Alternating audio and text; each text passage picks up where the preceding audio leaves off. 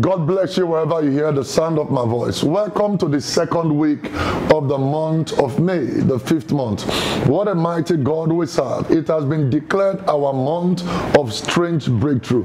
What is strange breakthrough? Strange breakthrough, I can define it as when everything seems not to be working, all doors are seems to be locked, and there seems to be no way of escape, as it was in the case of Peter. In Acts chapter 12, the Bible said, an angel of the Lord came into the prison room.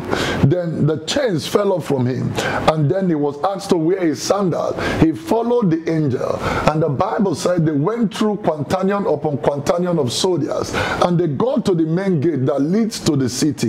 The Bible said the gate opened on its own accord. That is strange. Doors don't open on their own. Powers and forces compel them to open. So that is strange. Now, in the name of Jesus, I am praying for you. This week, every door that I've refused to open for you, strangely they will open for you. In your business, in your finances, in your marriage, in your relationship, doors will be open.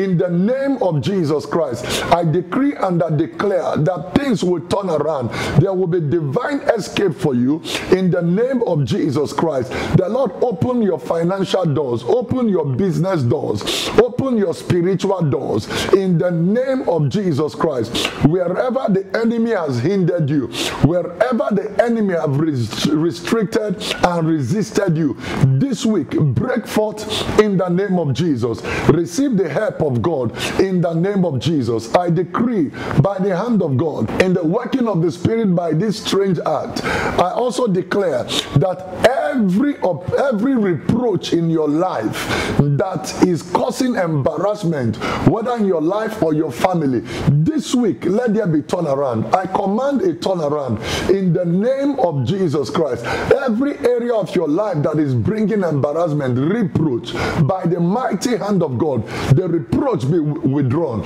in the name of Jesus Christ.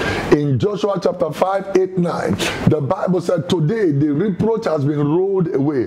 May every reproach in your life, every reproach in your family, every reproach in your marriage, every reproach in your business, every reproach in your life is rolled away in the name of Jesus Christ.